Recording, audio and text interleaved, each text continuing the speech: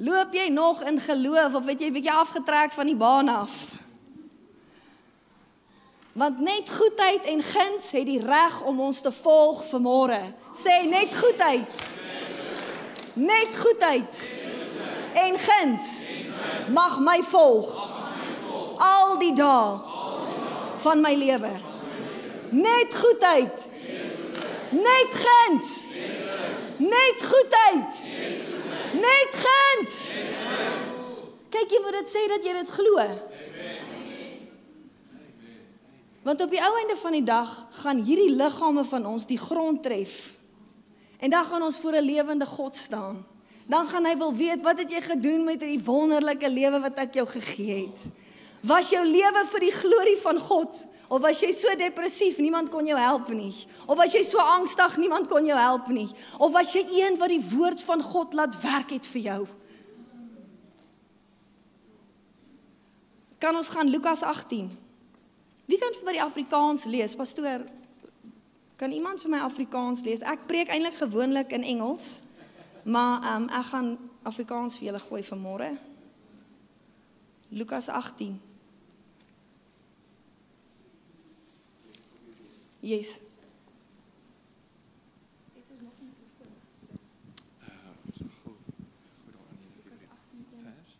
van vers 1 af. Sorry, pastoor. Ek gaan in die 53 lees. Lukas 18, stop my. En hy het ook aan hulle 'n gelykenis vertel met die oog daarop dat 'n mens gedurig moet bid en nie moedeloos word nie. En gesê daar was 'n regter in 'n stad wat God nie gevrees en geen mens ontsien het nie. En daar was in daardie stad 'n weduwee en sy het gedurig na hom gekom en gesê: "Doen reg aan my teenoor my teeparty." En 'n tyd lank wou hy nie. Maar daarna het hy by homself gesê: "Al vrees ek God ook nie en al ons sien ek geen mens nie, tog sal ek omdat hierdie weduwee my moeite gee aan haar reg doen sodat sy nie uiteindelik kom en my in die gesig slaan nie. Toe sê die Here: Hoor wat die onregverdige regter sê. Sal God dan nie reg doen aan sy uitverkorenes wat dag en nag tot hom roep nie, al is hy ook lankmoedig in hulle geval?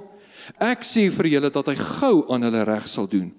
Maar as die seun van die mens kom, sal hy wel die geloof op die aarde vind? As die Here aarde toe kom vandag gaan hy geloof hier vind of is dit net twyfel? Want hy sê wanneer jy na God toe kom, moet jy glo dat hy sê hy is wie hy is. Want hy is vandag dieselfde, gister, vandag en tot in ewigheid. Hy het nie verander nie.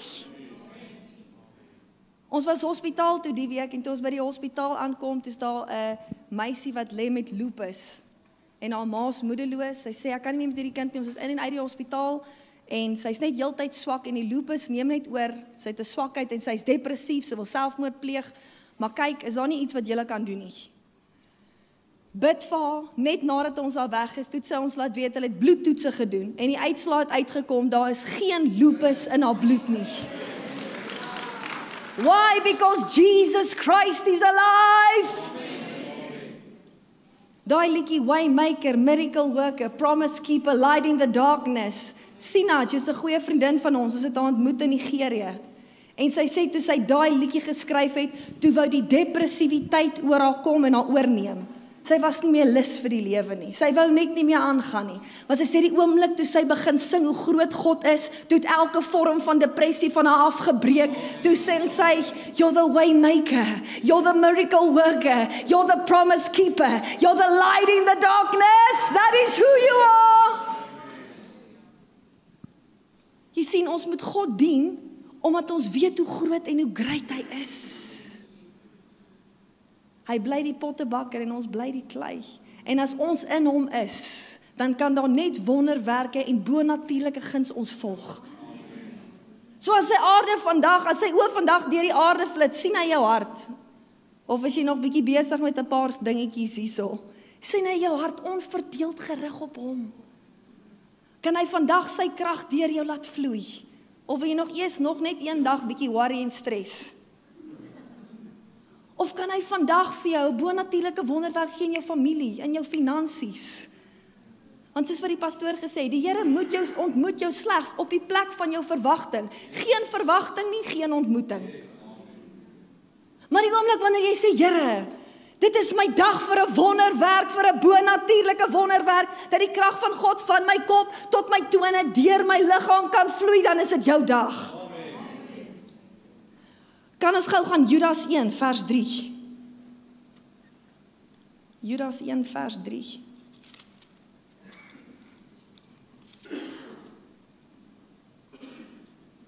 Yes, pastoor kan vir my lees.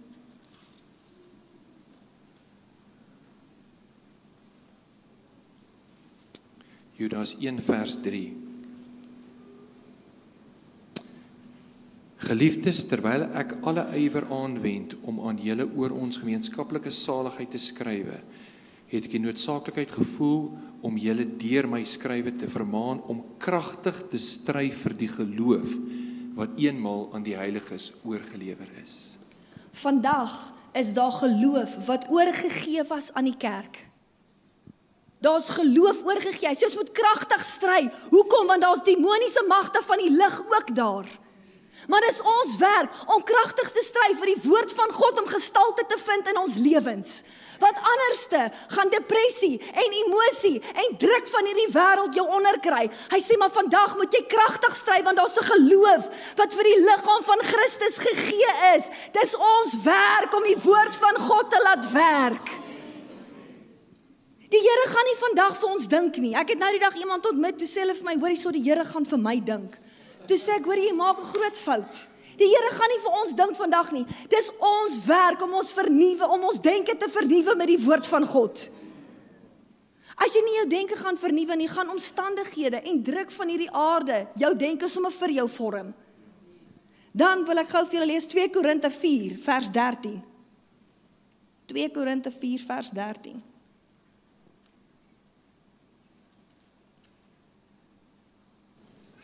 2 Korintiërs 4 vers 13. En omdat ons dieselfde gees van die geloof het, soos geskrywe is, ek het geglo, daarom het ek gespreek, glo ons ook, daarom spreek ons ook. Nee, nou hy sê en omdat ons 'n ander gees van geloof het. Yes. Of dieselfde gees. Dieselfde. Jy het nie 'n ander gees van geloof hier vanmôre nie. Jy het dieselfde gees van geloof as wat Dawid gehad het. Jy het dieselfde gees van geloof as wat Josua gehad het. Jy het dieselfde gees van geloof hier vanmôre. Nie 'n ander gees nie. So as jy dieselfde gees van geloof het, hoeveel wonderwerke kan deur jou vloei? Sê ek het dieselfde gees van geloof as Dawid as Abraham, as Moses, as Paulus. As jy dieselfde gees van geloof het, gaan dit 'n bietjie huppel in jou stappies sit vanmôre. Heerlikheid, wat kan ons doen? Hoe kan ons die krag van God demonstreer hier op aarde? Hy sê ons het dieselfde gees van die geloof. Hy sê soos geskrywe is, ek het geglo, daarom het ek gespreek. Glo ons ook, daarom spreek ons ook. Wat glo jy vir môre? Ons sal jou vang. En die healing school, gewoonlik is daar 'n dag wat ons moet kyk, hoorie, kan ons hierdie ouens aanstuur of bly hulle nog 'n week hier by ons? Die oomblik wanneer jy jou mond oopmaak, gaan die gees ruim jou loukeit. Ons gaan weet, as jy nog in twyfel, is jy nog in distress? Is jy nog in worry? Is jy nog aan die feite van die lewe of het jy oorgeskuif na die waarheid van die woord wat jou kan vrymaak? Of het jy oorgeskuif van die geloof? Hoekom? Jy het geglo, daarom spreek jy. Wat spreek jy vanmôre? Moenie vir my sê sê ek's genees, ek's genees, ek's genees, ek's genees, ek's volmoed, ek's volmoed, ek's volmoed, maar eers dit het nie gewerk nie. Dat jy nie geglo nie. Hou op van die B na die A toe gaan. Het die fondasie reg. Ek het geglo, daarom spreek ek. Ek het geglo, daarom spreek ek. Wat glo jy vanmôre want waarvan die hart van vol is, gaan die mond van oorloop. Ons gaan vinnig agterkom. Luister jy as jy gefestig in die woord. Het jy jou voete gevind in die liefde van Christus? Is jy so vasgevang in die gees van God dat geen worry en stres jou onderkry nie? Of maak jy nog jou mond oop en sê hoor die ekonomie is nie goed nie? Hoor jy ons moet nou dop hou. Daai corona virus sê hulle is nou hier by Botswana. Wat spreek jy vanmôre? Want wat jy gaan spreek is dit wat jy gaan hê. Ek het geglo, daarom spreek ek. Ek het geglo, daarom spreek ek. Ek het geglo, daarom spreek ek. Ek het dieselfde gees van geloof. O! Oh!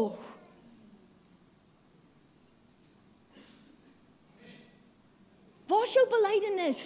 Is jy die kop en nie die stert nie? Gaan jy bo toe en nie onder toe nie? Gaan jy aan nasies uitleen en nooit hoef te leen nie? Ek sê eendag dit vir my sussie se seentjie toe sê sy toe sê hy vir my, "Jesus, maar ek hou van die perd se stert. Ek wil eerder die stert wees." Toe sê ek, "Nee seun, jy kan nie die stert wees nie. Jy's sommer die kop en nie die stert nie."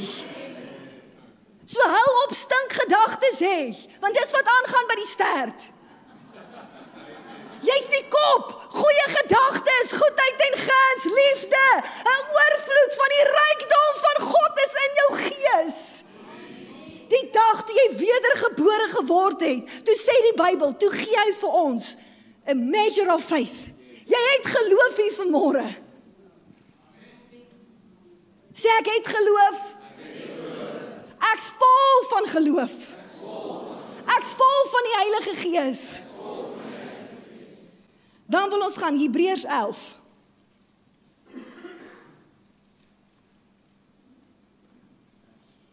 Hebreërs 11. Jy kan vir my 6 lees, maar dis nie waarna toe ek gaan nie, maar ons kan by 6 begin. Okay. Okay, ek gaan lees.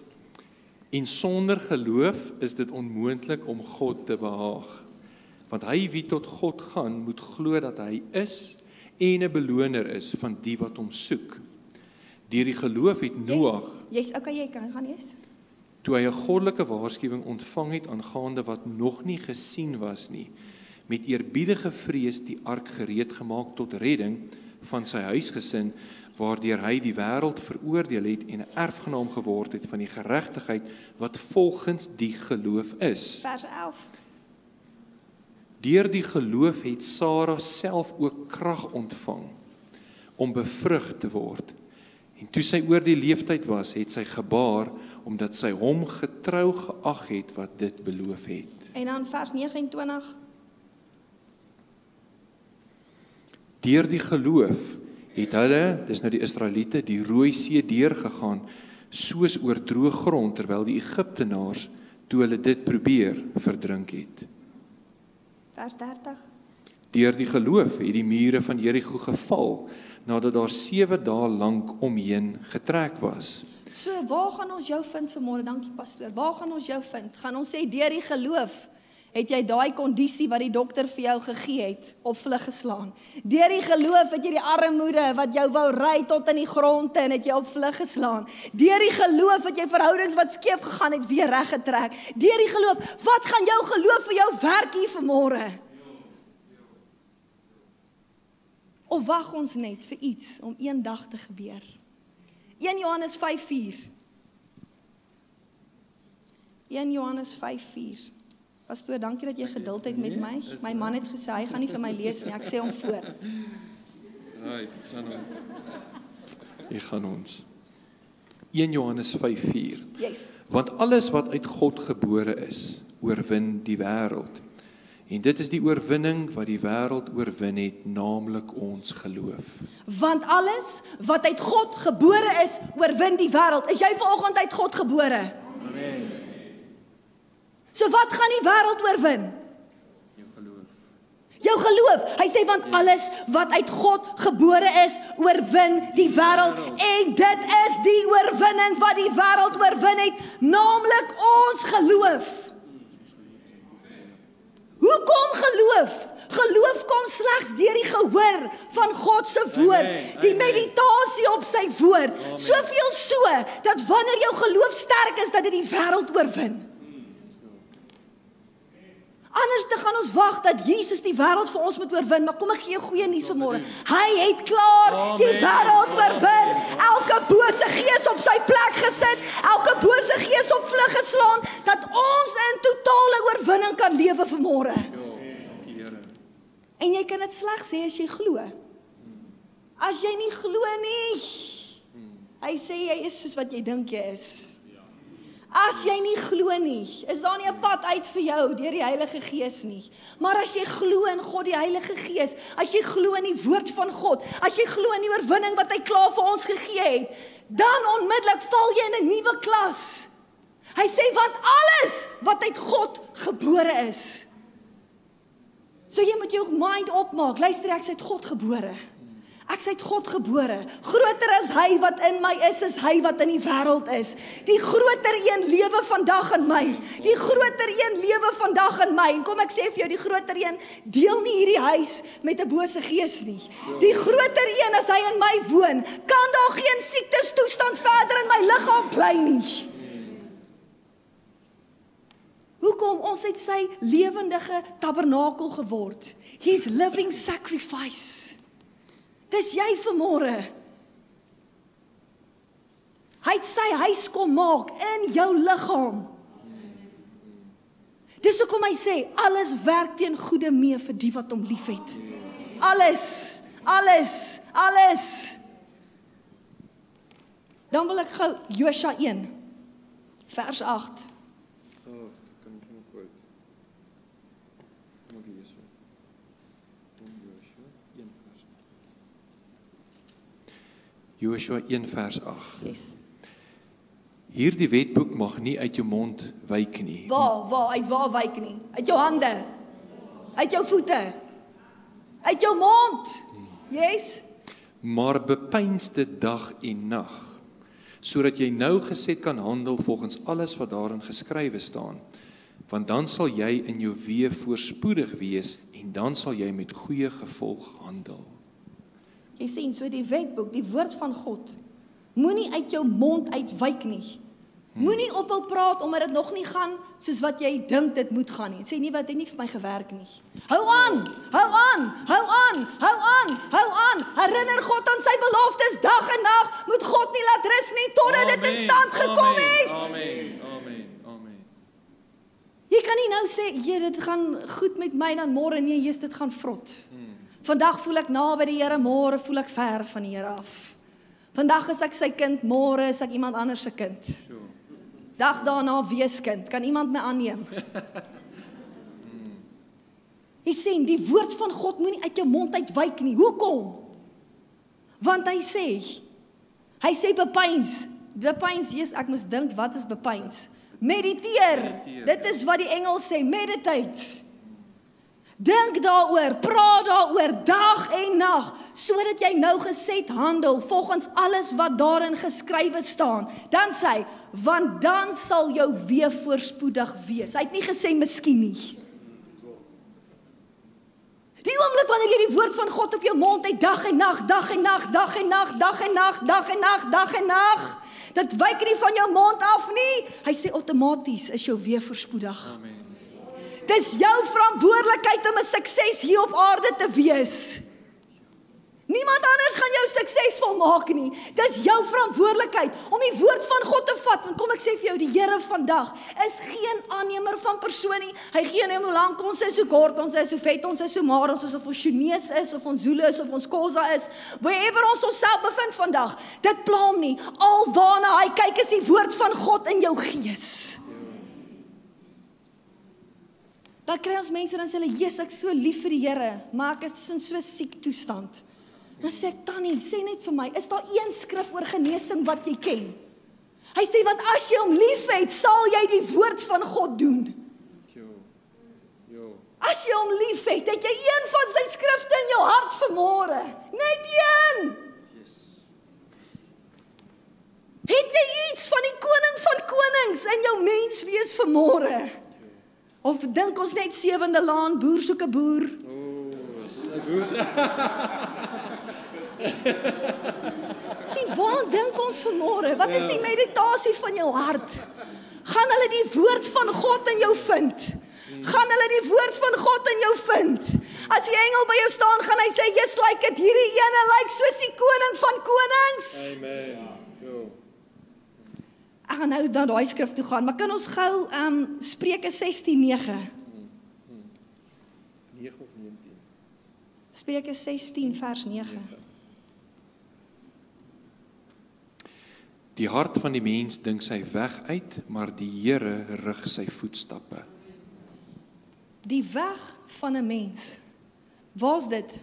Waar, waar wie gaan dit uitdink? Jou hart. So as jy nie die woord van God in jou hart het nie, gaan jy dalk dieselfde pad volg as jou ma, dieselfde pad volg as jou oupa, dieselfde pad. Hoekom? Want hy sê uit jou hart uit gaan jou weg bepaal word. En nou, die oomblik wanneer jou weg bepaal word, kan God jou tree wys waarheen om te gaan. Amen. Amen. Maar uit jou hart uit moet jy eers besef die woord van God moet gestalte vind in my hart dat God my pad kan aanwys.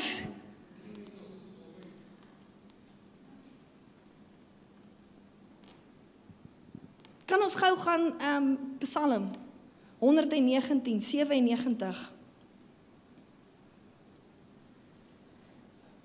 Matteus 13 sê, dis hoekom ek daarvan hou om die skrif te lees. Matteus 13 sê that at any moment if your eyes see the word of God and your ears hear it and your heart understands it, your miracle is automatic.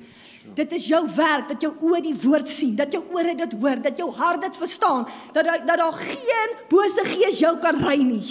Ja, ja. Dat wonderwerke joune is. Dis hoekom jy dit sien met jou oë, hoor met jou ore, verstaan met jou hart. Amen. Psalm 119 vers 97. Hoe lief het ek u wet. Dit is my bepeinsing die hele dag. Yes, jy kan aanlees vir my tot by 104.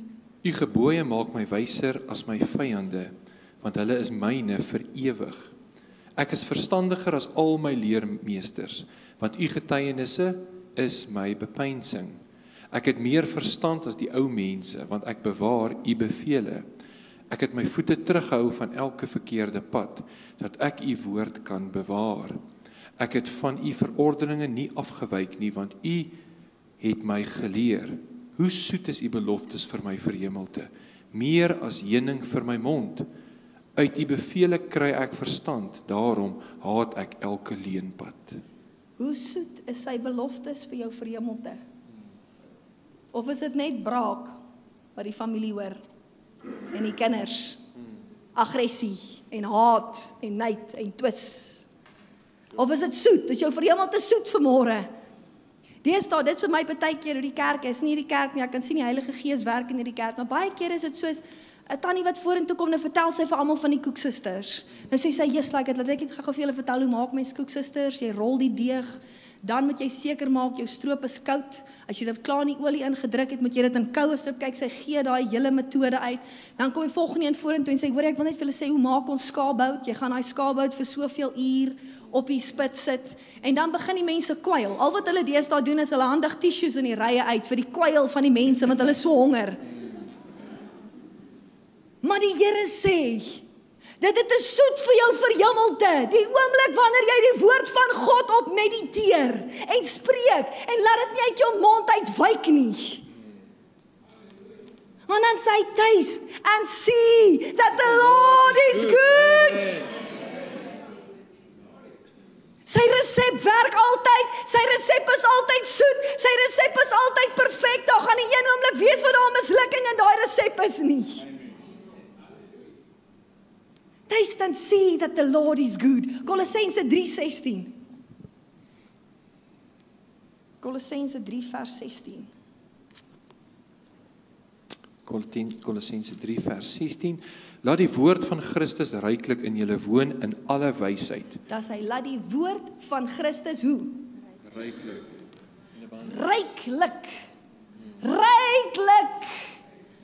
Laat daai goue nuggets ryklik in die skatkamers van jou hart woon. Want dan sê hy, jy moet 'n wagplaas voor jou hart. Jy pas nie iets op as daar niks is nie. Vind ons vandag 'n wag voor die McDonald's. Nie regtig nie, maar as jy na die bank toe gaan waar die wolts is, dan kry jy wagte buite, jy kry wagte binne. Jy kry ouens met gewere oral, daar's kameras op oral. Hoekom? Want hulle beskerm iets. Hy sê laat die woord van God ryklik in jou woon. En dan sit jy 'n wag voor jou hart dat daar niks anders te moet inkom wat nie daar moet wees nie. Die vraag vanmôre is, woon die God wo, wo is die woord van God ryklik in jou vanmôre? Ryklik, ryklik, ryklik, ryklik. Dan kan ons gou gaan Spreuke, ag Efesiërs, Efesiërs 3 vers 20. Efesiërs 3 vers 20. Efesiërs 3 vers 20. En aan hom wat mag het om te doen ver bo alles wat ons bid of dink volgens die krag wat in ons werk. Volgens die krag wat in ons werk. Hy, die Here is vandag. He is able to do for us exceeding abundantly above all that we could ever ask, think or dream of. Yes. Nee, according to what? The power that is in work within us. According to the power that's at work in us, not according to the power that's in heaven. Amen. Nie volgens die krag van God wat in die hemel is nie. Volgens die krag van God wat in jou is. Amen. Hoeveel van sy krag kan jy demonstreer?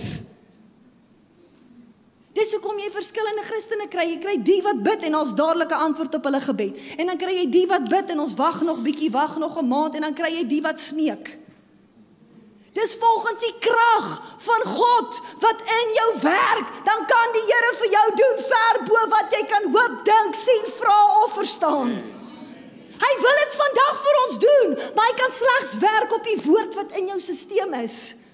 Is jy met my? Hy wag om te sien hoeveel woord is in hierdie chassis van jou. Dat hy jou kragtig kan ondersteun.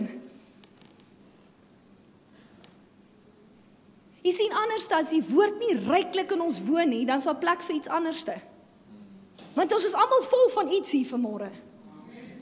Party van ons 'n bacon burger en ander van ons chicken nuggets en ander ribs, maar almal is vol van iets hier vanmôre. So jy moet seker maak dat jy so vol is dat jou beker oorloop, dat wanneer jy tyd spandeer met ander mense, dat wat ook al hulle in jou beker ingooi, dat dit uitloop. Hoekom want jy's vol? Jy's vol. Jy's vol van die Heilige Gees. Jy's vol van die krag van die Heilige Gees. Jy's vol van die meditasie van die woord van God. Hy sê want as jy glo, gaan jy praat. As jy nie glo nie, gaan jy nie spreek nie. Ons sal vinnig agterkom of jy gemediteer het op die woord. Maar nie oomblik wanneer jou mond oop gaan, sal ons agterkom dat jy gemediteer, soveel sodat jy glo. En toe daai geloof inskop, toe gaan jy oor in aksie. Sê my beker loop oor. Yes. Dawid het gesê my cup runneth over. My beker loop oor. Die Bybel sê hy het gemediteer oor die woord dag en nag.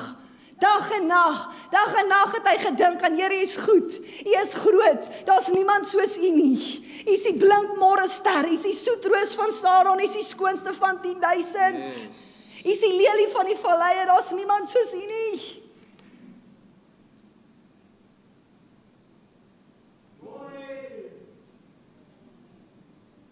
Jy sien hy love ons vanmôre. Hy is ontsettend trots op ons.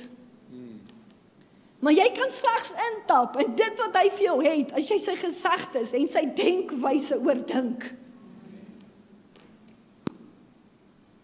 Anders dan sit ons hier in die Bybel daar en ons sê Here, waar is U? Ek ontmoet te veel mense. Here, waar is U? Dan sê ek nee, waar's jy? Waar's jy? Die Here wil vanmôre weet, waar's jy? Is jou hart onverdeeld gerig op die koning? Amen. Onverdeeld. Dit beteken jy dink net oor hom. Jy praat net oor hom. Jy dink net gesegdes van hom. En as enigiets anders wil inkom van die kant af, dan sê jy nee, dit is nie my erfporsie daai nie. Anders dan neem jy deel in 'n erfporsie wat vir die duiwel se kinders aanhoort. Daar's 'n erfporsie wat God vanmôre vir ons gelos het. Hoe sal jy weet wat dit is as jy nooit gelees het nie? Hoe sal jy weet wat die Here vir jou gelos het as jy nooit daaroor gemediteer het nie? As jy nooit die krag van God gedemonstreer gesien het deur jou lewe nie? Want kom ek sê vir jou, die oomblik wanneer jy op die woord mediteer, maak dit jou braaf. Nou ewe skielik is jy nie bang nie. Siekte van waar? Duiwels van waar? Hoekom my koning het hulle almal op hulle plek gesit? Dan, as jy opstaan in die môre, groter as hy wat in my is. Ek het vandag die groter een in my, die groter een in my, die groter een in my. Wat is groter as die groter een? Niks. Dis hoekom hy sê niks sal jou ooit skade doen nie. Niks. Jy het mag oor al die kragte van die vyand en niks sal jou ooit skade doen nie. Maar nou kruip dit in jou gedagtes in, jy's like dit um, ek weet nie seker of daai ou dit gemaak het nie. Nou begin jy vir toetse gaan. Nou diagnoseer jy met presies wat daai ou gehad het. Nou begin jy dit oordink. Nou begin jy dit oordink. Nou begin jy begrafnis reël. Nou begin jy al klaar dink wat er wie.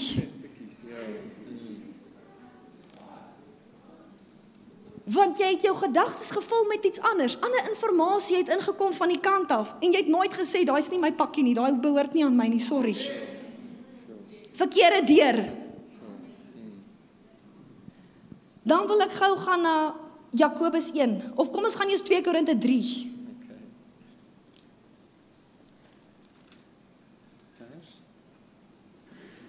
2 Korinte 3 vers 18. Gee my van 17 af. OK. Die Here is die Gees. En waar die Gees van die Here is, daar is vryheid. En terwyl ons almal met onbedekte gesig soos in 'n spieël die heerlikheid van die Here aanskou, word ons van gedaante verander na dieselfde beeld van heerlikheid tot heerlikheid as deur die Here wat die Gees is. Hey! Hy sê die woord van God is die spieël. Hy sê wanneer jy in die spieël kyk, moenie vergeet hoe jy lyk nie. Dis waar. Hy sê kyk en bly kyk en bly kyk en bly kyk totdat jou gedaante verander. Hoe?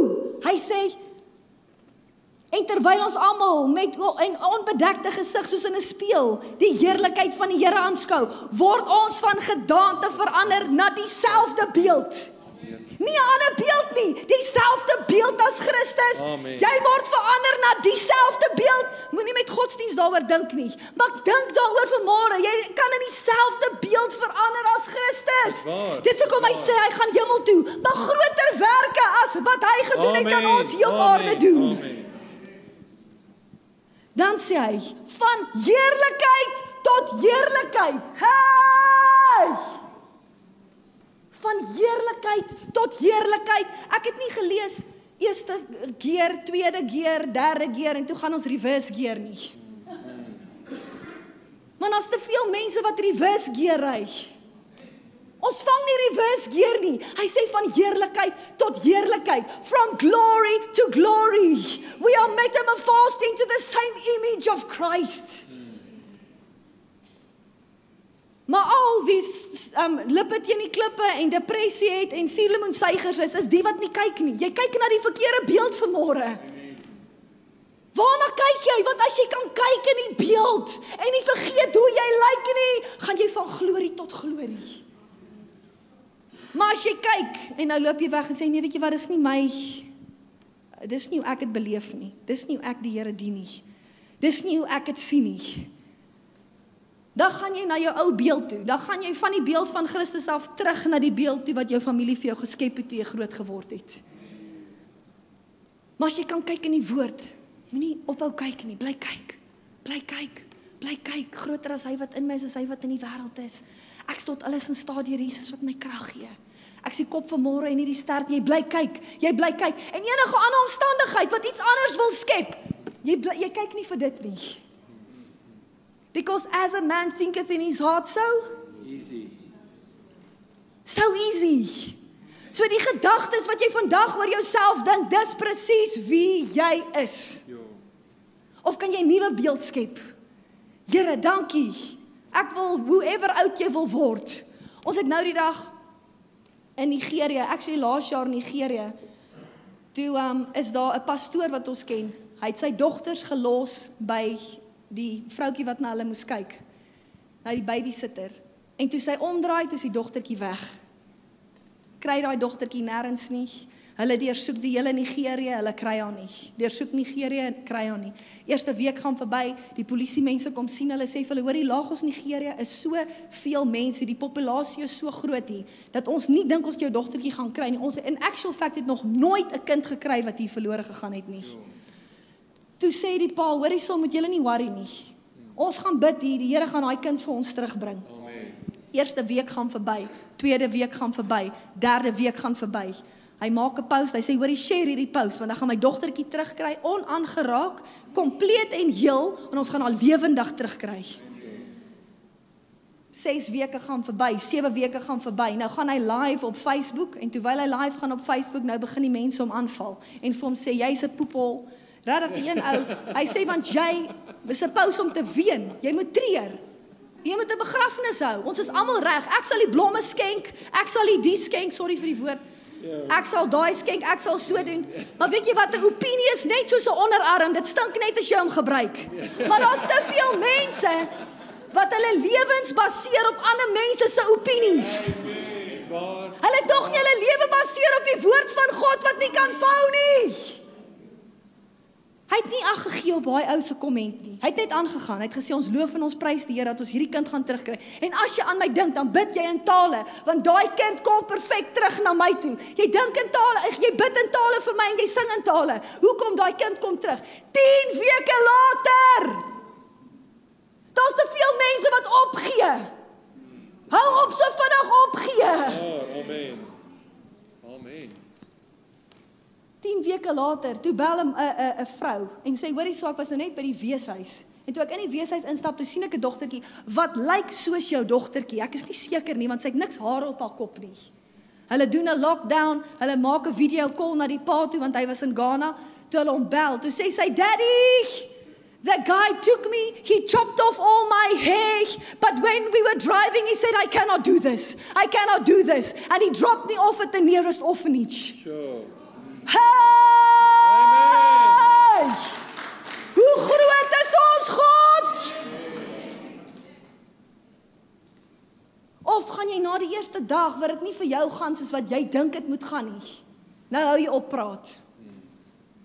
Maar hy sê jy kan mediteer oor die woord dag en nag. Moenie laat dit uit jou mond uitwyk en eers heen gaan wegkruip nie.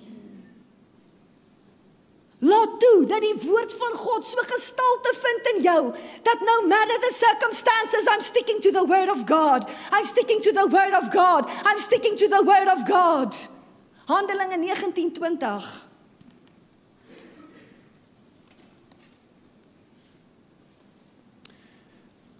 So het die woord van die Here met krag gegroei en sterk geword. So het die woord van die Here met krag gegroei en sterk geword. So het die woord van die Here met krag gegroei en sterk geword. Die oomblik wanneer jy besig is met die woord, dis skerper as enige tweesnydende swaard. It's living and active, living and active, living and active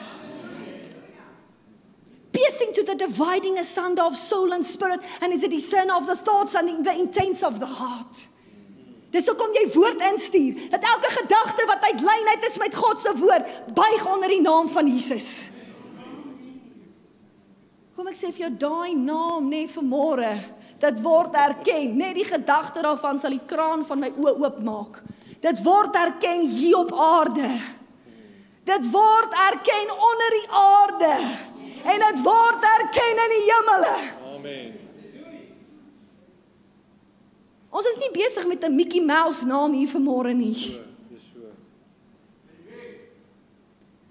Maar as jy nie mediteer oor die woord van God nie, gaan jy die naam van Jesus aanroep asof dit 'n Mickey Mouse naam is. Maar as jy gemediteer het op die woord van God en sy woord het so gestalte gevind in jou hart, Die oomblik wanneer jy by iemand staan wat help nodig het, dan weet jy daai is die naam bo elke ander naam. Dat as jy Jesus skree, dan is dit soos daai movie scene van Lion King. Toe hulle sê Mufasa toe gaan die hyena. Sy hele lyf ruk, sy hele ruggraat bewe. Hoekom want as hy naam om die hoekom, dan gaan een van hulle vrek. Ja. Hulle is nie seker is dit hulle laaste dag nie. Stadig met daai naam, stadig. Want om tyd te spandeer met die Here Ewe skielik skep dit 'n identiteit van wie jy is in Christus. Dat as die wêreld vir jou identiteit wil skep, sê nee, is nie moontlik nie. Dis nie moontlik nie. Daai is nie die waarheid nie, daai is 'n leuen. Hulle moes ons afteken toe ons oor see gaan een keer. En toe ons afteken, toe sê hulle vir my, hoorie mevrou, ons kan jou nie afteken nie. Jy het soos 'n melanoomkanker storie wat groei onder jou onderarm en ons gaan daai ding moet uitsny en dan gaan ons nie net daar uitsny nie want daai lyk so rof dit bloei die hare kom uit so so so en ons wil net vir jou sê ek dink dit gaan goeie nuus wees en ek dink nie ons gaan jou kan afteken nie. Jy moet actually jou vliegtuigkaartjie uitstel. Wat ons net eers hierdie storie uitkyk. Toe sê ek vir meneer ek kan nie siek word nie. Dokter ek kan nie siek word nie. Hoekom? Ek het al so gemediteer oor die feit dat Jesus Christus homself aan die kruis gehang het en toe hy aan die kruis gehang het, toe hang ek saam met hom aan die kruis. Toe hy afgesak het in die doderyk, toe ek daar saam met hom, toe sit ons prinsipaliteite op hulle plek, dat toe hy uit die dood uit opstaan, toe sit dieselfde gees wat in my woon. 'n Week gaan verby, hulle laat weet niks nie. Twee weke gaan verby. Hy sê, "Hoerie, ek wil net vir jou sê, ek het die goed twee keer teruggestuur." Ek kon nie glo die resultaat wat uitkom nie. Daar's geen lewe in daai ding nie. Of gaan jy wanneer jy inligting ontvang, daai inligting sit bo die woord van God? Of het jy al jou gedagtes in jou mind opgemaak dat hierdie is die hoogste autoriteit in my lewe? As hierdie nie die hoogste autoriteit is nie, gaan enige omstandigheid en enige inligting wat jy ontvang, gaan jy dink dit is die hoogste autoriteit. Maar die Bybel sê dat die duiwel loop rond soos 'n brullende leeu. Soos hy's 'n klein muis met 'n loudspeaker. Hy wil net kyk, gaan jy die leuen glo? Gaan hy plek vind in jou? Ons het nou die dag ek hou van hierdie getuienis. Ons het nou dag 'n ou gehad by die healing school. Hy was 'n gay vir 20 jaar. En toe gee hy sy hart vir die Here. Toe kom hy nou sien toe toe sê "Hoorie, so ek het HIV AIDS." Maar ek wil regtig hê die Here moet my genees. Nou kyk die mens dom. Dink dadelik, kyk my vriend, jy het jou lewe gelewe, sterkte. Nou dat jy die Here ontmoet het, ons is bly vir jou net so voordat jy groet. maar weet jy hoe dink God? Hy sê if any man be in Christ, that man is a new creation. All things have passed away. Dan sê hy kyk, alles het nuut geword. Dis jou werk om te kyk dat alles nuut geword het. Anders as jy kyk in jou verlede, dan sien jy die verlede, dan jy die resultaat van die verlede. Kyk, alles het nuut geword. Hy toets gaan doen en hy's HIV negatief. Hey! Dis hoe incredible groot die Here is. Ja. Dit maak nie saak waar jy was nie. Dit maak nie saak wat se tipe verlede jy gelewe het nie. Die oomblik wanneer jy in Christus is, val jy onder 'n nuwe wet. Romeine 8 vers 2 praat van daai wet. Hy sê it's the law of the spirit of life in Christ Jesus that has freed us from the law of sin and death. Daar is sonde en dood vandag op hierdie aarde. Dit is daar. Hy sê maar die wet van die lewe in Jesus Christus het ons vrygemaak van daai wet. Kan jy dit sien vanmôre? Of het jy afgetrek? En nou wag ons vir die Here om iets vir ons te doen. Of kan jy sy woord laat werk en terugkom met 'n getuienis? Ons is in Amerika en hierdie hierdie meisie se se testament het my so gebless van waar die pa haar gekry het. Ons is daar en iemand steel ons hond. Ons het 'n hond, ek het 'n French bulldog hondeteelery in Amerika. En iemand steel my stoet bil. My stoethond, sorry. Steel die stoethond en ons het 6000 dollar betaal vir die hond. So ons wil graag daai stoethond gebruik, die bloedlyn Ja. vir die hondjies. Ons het nog nie gebruik nie. En hier steel iemand hom uit my erf uit. Ek dog ek's in Suid-Afrika. so ek wil net sê dit gebeur in Amerika ook hoor. en toe dit gebeur, toe sê ek, Here, my tiende is op datum. Sê Here, my fruits is op datum. Volgens u woord kan die duiwel nie van my af steel nie. En ons trek daai kinders, ons begin in tale bid. Ons begin in tale bid voor daai huis. Ons sing in tale, ons bid in tale, sing in tale, bid in tale. Dieselfde getuienis as hierdie meisie. Een week gaan verby, twee weke gaan verby, drie weke gaan verby. Dink dit was 8 weke wat verby gegaan het. Toe bel iemand ons en sê, "Hoorie, ek wil net vir julle sê, ek het julle hond. Ek gaan nie by die huis wees nie. Jy kan by my huis stop. Jy kan reguit inry en jy kan die hond kom haal. Toe stuur ons die mense wat nou na ons huis kyk want ons was klaar in Suid-Afrika. Hulle ry in en daar gaan haal hulle die hond. Jou mond kan nie anders te praat omdat jou omstandighede een manier lyk nie. Hy sê as jy glo, sal jy praat. So wat glo jy vanmôre? Glo jy dat Jesus Christus uit die dood uit opgewek het vir jou? Glo jy dat hy aan jou gedink het en dat jy saam met hom aan die kruis gesterf het? Galasiërs 2 vers 20. Van julle kyk vir my aan die kruis saam met hom gesterf het. Girl, waar kom jy vandaan? Kom ek wys jou gou. Ek is met Christus gekruisig. Wat? Paulus, Hy het nie gesê julle is met Christus gekruisig nie. Ja? Wie pastoor? En ek leef nie meer nie, maar Christus leef in my. En wat ek nou in die vlees lewe, leef ek deur die geloof in die seun van God wat my liefgehad het en homself vir my oorgegee het. Ek is gekruisig saam met Jesus. Het dit al die meditasie van jou hart geword? Het jy al op jou bed gelê en gesê, Here, Dankie dat ek gekruisig kon yes. wees saam met U. Dankie. Dankie. Of wag jy nog eers? Is Jesus nog daar en jy's nog hier? Het die meditasie en die kontemplasie van jou hart so een geword met die woord dat jy saam met hom afgesak het in die doderyk? En elke bose gees op vlug geslaan het. Want dis Paulus. Hy het gesê ek is gekruisig saam met Jesus. I am crucified with Christ. Nevertheless, I that live, it's Christ that liveth in me. And this life that I now live, I live in the faith of the Son of God who loved me. And gave himself Sê ek's meer as 'n oorwinnaar. Sê ek's meer as 'n oorwinnaar. Deur Jesus wat my liefhet.